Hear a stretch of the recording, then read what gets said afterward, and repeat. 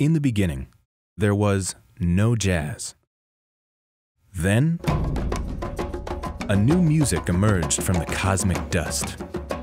A rhythm carried over in the bellies of slave ships, fused with the music traditions of Europe.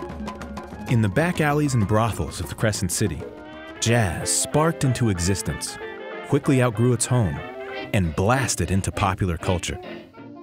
Louis Armstrong and the swinging rhythms of the 20s and 30s paved the way for jazz orchestras, big bands who spread this sound throughout the world. Then, the war. Jazz fragmented into smaller groups and subtler sounds. Bird and Diz scrambled the night sky, and bebop burst forth upon the horizon. Then, everything accelerated. Hard bop, soul jazz, third stream, and more. Whole new galaxies were born. One, fusion, created a gravitational pull like no other. From rock to folk to funk, now jazz had the freedom to expand to anything.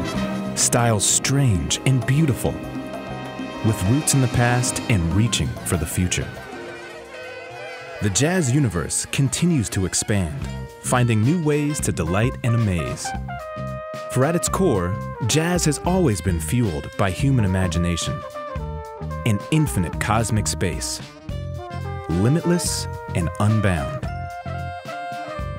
KMHD, jazz without boundaries.